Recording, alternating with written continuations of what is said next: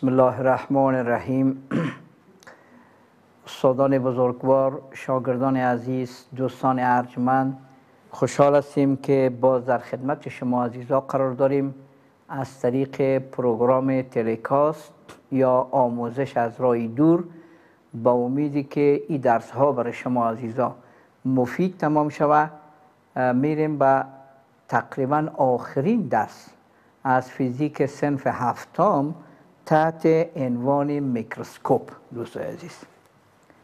microscope یا میکروسکوپ. میکروسکوپ.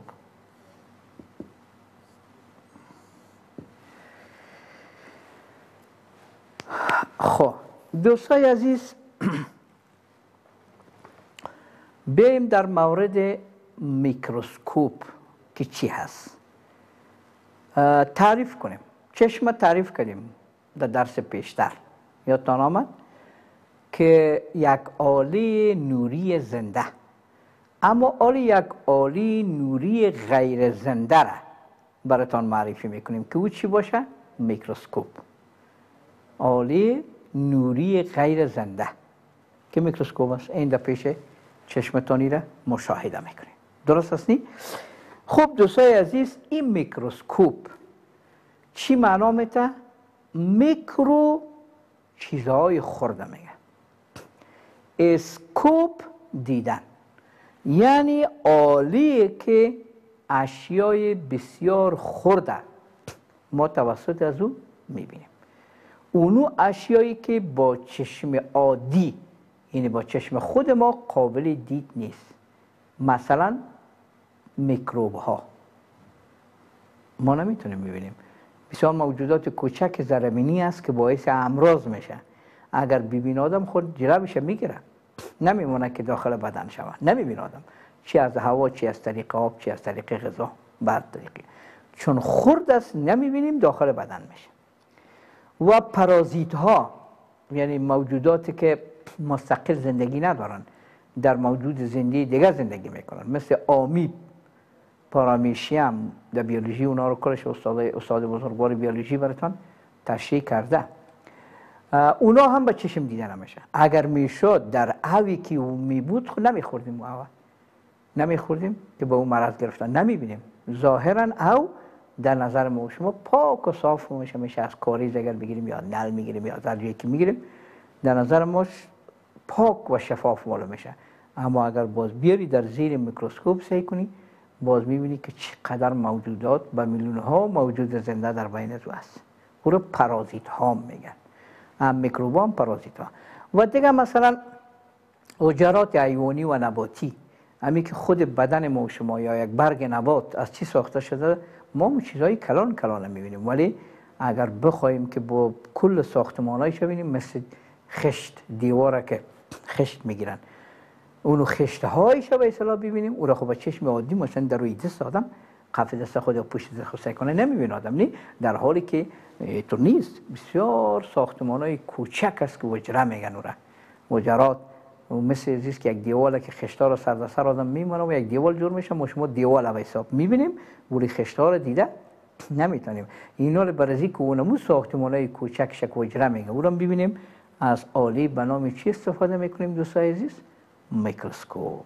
انشالله که اهمیت میکروسکوپ رو فهمیدین حالا به این از نگاه فیزیک حالا گپ سر فیزیک است که ما سر و کار ما با این نیست که ما از این برای دیدنش کار بگیریم. او کار استاد بیولوژی است که برای شما توضیح می‌کنه که چطور می‌تونه آدم یک حجره را توسط میکروسکوپ ببینه. ولی برای ما مفهومش است که اینمی میکروسکوپ از نگاه فیزیک باید تحلیل کنیم. که از نگاه فیزیک ای چی هست؟ این از نگاه فیزیک در حقیقت دوستای عزیز اینمی میکروسکوپ هیچ چیزی نیست جز عدسیه ها و آینه ها که درش به کار رفته. از نگاه فیزیک. چرا ما در فیزیک دیگه عدسیه و آینه و منشور و همه چیز داره دیگه کنیم؟ خب اگر شما در اینمی چیز سعی کنین قسمت اول میکروسکوپ این قسمت اول جایی که ببینین یک عدسیه را می‌بینن این میشه متوجه این دوست عزیز؟ چی را میبین آدم؟ یک رو می‌بینه. همین قسمتی که در بالای میکروسکوپ گذاشته میشه. وقتی که می‌خوایم ما شما سعی کنیم اولین چیزی که هست یک دانه عدسیه این میجاست که دوستای عزیز دیده میشه. ایره امی عدسیه را که ما توسط از اون می‌بینیم عدسی چشمی میگن. و به همین قسم یک عدسی دیگه در نزدیک خود جسم است. اینجا. در این قسمت که در نزدیک جسم او را عدسی جسمی میگم. یعنی در حقیقت امی خود میکروسکوپ دو نوع عدسیه دیش در کار رفته. چند نوع عدسیه؟ دو نوع عدسیه. یکی عدسی چشمی یعنی جایی که به چشم ما تماس داره نزدیک است ایست و یکی عدسی که به جسم نزدیک است. به جسم نزدیک است او را به نام عدسی چی یاد می‌کنن؟ جسمی یاد می‌کنن. یکی عدسی جسمی و یکی عدسی چشمی. و دیگه آینه به کار رفته. شما یه آینه رو می‌بینید یعنی با چشم سر دیگه خوب معلوم میشه. درست؟ اینمی خودش یک آینه است. اینمی دوستای عزیز چی است؟ یک آینه است. آینه ما شما چی رو گفتیم؟ چیزی که نور می و قدرت انعکاس داره. و این ما نظر به منبع نوری به این شکل ایارش می‌کنیم. ایار می‌کنیم که نور از اینجا بیا این از این قسمت داخل عدسیه بیا به عدسی چشمی عدسی جسمی از جسمی به چشمی و بالاخره وقتی که ما سعی می‌کنیم به کمک اونمون نوری که انعکاس میافه ما شی مورد نظر در روی slide خود می‌بینیم. دوست عزیز انشالله که شما ایره درک کردیم این میکروسکوپ از نگاه فیزیک گفتیم برای ما اهمیت داره. که از نگاه فیزیک امی خود میکروسکوپ چی هست؟ اول خوب فهمیدیم که دو تا عدسه یک عدسی چشمی یک عدسی جسمی. درست؟ و دیگه یک آینه آینه مقر طرفین که تو دستتان بگیرین چقوری داره چقوری؟ که این قدرت از این داره که نور که دی می‌خوره در داخل میکروسکوپ. می و از این را این قسم می در چشم که وقتی ما و شما چشم خودم میمونیم با ایار کردن از این چیز آینه ما شی مورد نظر که در روی slide خود چی می‌کنیم مشاهده می‌کنیم. دیگه سلسله ساختمان های دیگه داره دوستای عزیز که این تو ساختمان های برآمدگی رو می‌بینین. این به نام power ش یاد می‌کنم. به چی؟ power یا قدرت میکروسکوپ. که در مقابل هر کدام از ای عددا نوشته شده. مثلا عدد ده یعنی power ش ده. مثلا این دیگهش پاورش پنج. این مثلا این پاورش بیست. این پاورهای مختلف اینجا در روش نشته کرده.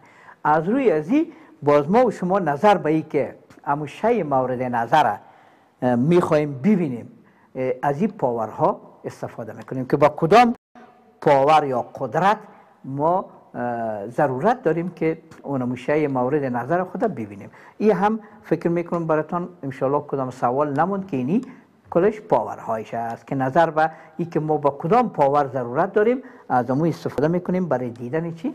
شی مورد نظر. اینی گرد که هست اینی گرد. این stage میگه دوست عزیز. این چی میگه؟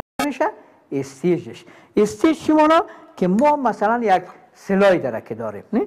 می‌خوایم این را ببینیم این در روی همی stage قرار میدیم. در روی چی؟ stage. و دو تا قیتک داره. این یک قیتک این دو قیتک توسط قیتک ما همی slide خود در روی stage قائم می‌کنیم. متوجه هستین وقتی که قائم کردیم این دیگه می‌خواهیم که شی مورد نظر ببینیم power ش باز جور می‌کنیم. درست است یعنی مثلا فرض کنیم به این power می‌خوایم ببینیم. با توسط این از این پیچ بالا و پایین بالا و پایین سعی کنین بالا و پایین دیدین امی میکروسکوپتان با توسط این از پیچ بالا و پایین می‌کنین و توسط این پیچ های دیگه البته باز روشن و ای گپایش می‌کنیم که مثلا روشن شه یا نشه یا ای گپا و در ضمنش باز توسط یه آینی مقرر طرفین دیگه نور رهبری می‌کنیم که بیاید ای بخوره و از این طریق تیر شوه بیاید در روی سلایدتان از سلاید برده داخل میکروسکوپ با عدسی جسمی باز از رو بیاید عدسی چشمی و بالاخره باز شما شای مورد نظر ببینین. ببینین دوستای عزیز دیگه چیزایی که از نگاه فیزیک برای شما مهم بود در میکروسکوپ براتون تشریح شد که انشاءالله فراموشتون نمیشه. به خاطر از که باز هم دوستای عزیز ما یک مقدار البته معلوماتشان اضافه تر شود خب یک ساختمانه که دیگه این دینی زیرام هست که ای دیاگرام میگن این دوستای عزیز.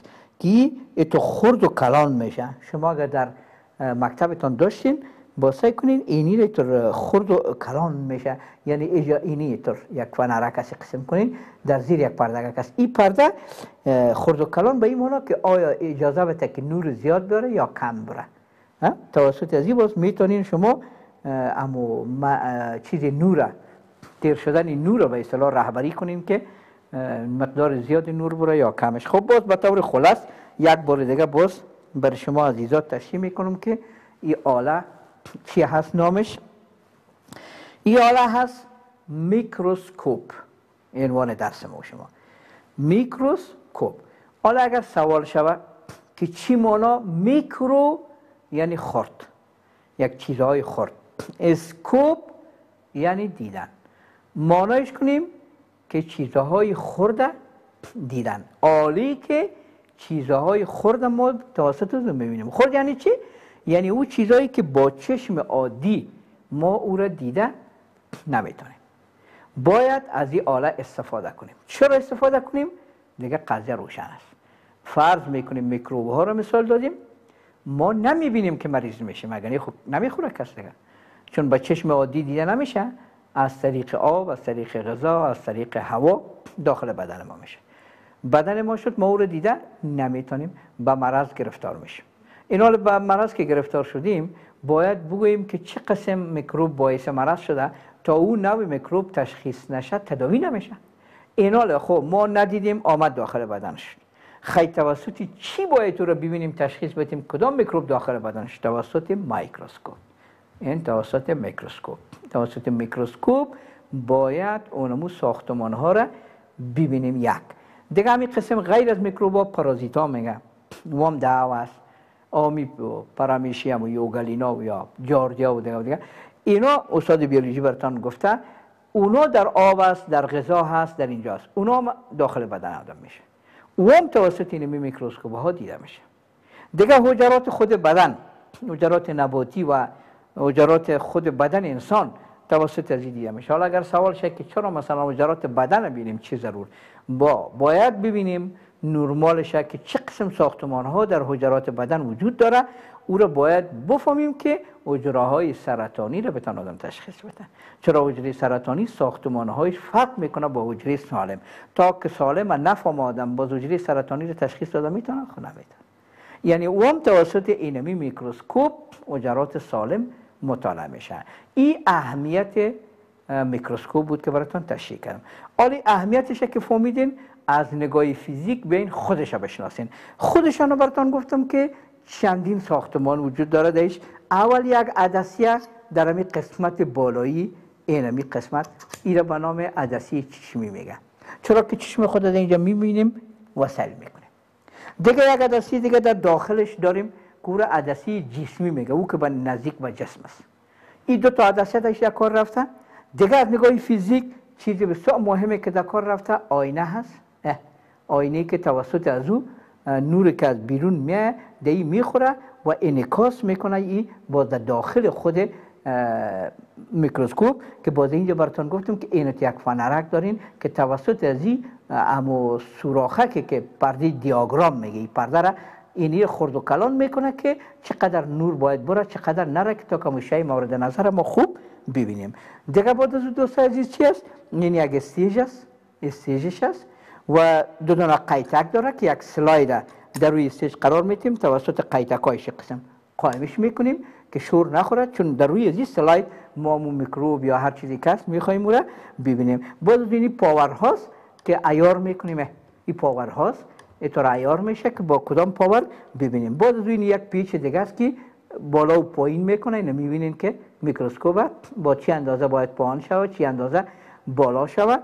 درست توسط پیچک های خرد دیگه هم یک اندازه با اصطلاح گل و روشن و واضح و تاریک شدنش می‌بینیم و بعد از او باز با استفاده دینمی ساختمان ها دیگه باز ما اشیایی را که با چشم عادی دیدن نمی‌تونیم توسط از این تشخیص میدیم. این درس آخرین درس بود. دوستای عزیز از مضمون فیزیک صنف هفتتان تحت عنوان میکروسکوپ. تشکر از توجه شما عزیزا و فقط سوالش نوشته می‌کنم که شما یادتان باشه خلاص. درباره میکروسکوپ میکروسکوپ و اهمیت آن و اهمیت آن معلومات خود را معلومات خود را بگویید. این دوستان عزیز این آخرین درس از مضمون فیزیک سنف هفتم. تشکر از توجه شما عزیزا. تا ساعت دیگه که در خدمت شما عزیزا قرار بگیریم شما را به خداوند یکتای بی همتا مسپاریم تشکر.